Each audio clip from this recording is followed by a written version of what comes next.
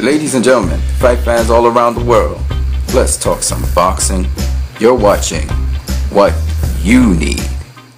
In boxers not talk much about today, we're going to look at three boxers who have some things in common with one another. And I'm going to ask you to find out what those things are.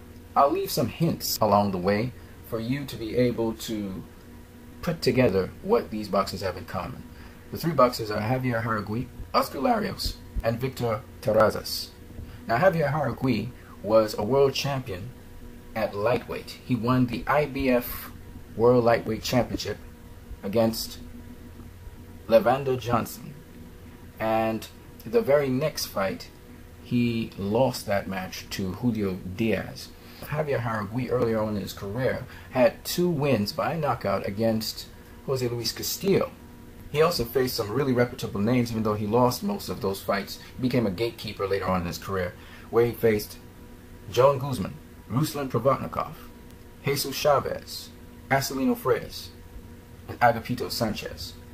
Oscar Larios, he was a super bantamweight champion as well as a featherweight champion, two divisional, two-time world champion. He had wins over Nate Hossein. Israel Vazquez beat him. He also faced Manny Pacquiao, Jorge Linares, and then he won the featherweight title from Takahiro Ao. Takahiro avenged his loss. The last person is Victor Terrazas. He was a super bantamweight champion. His most notable fights and wins were against Fernando Montiel and Cristian Mijares. He lost to Leo Santa Cruz, who then captured the WBC Super Bantamweight title from him. The question again, what do these boxers have in common?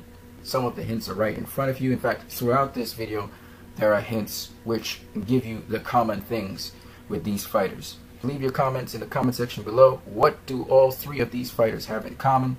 You can list some of the things that you see and some of the things that you may know.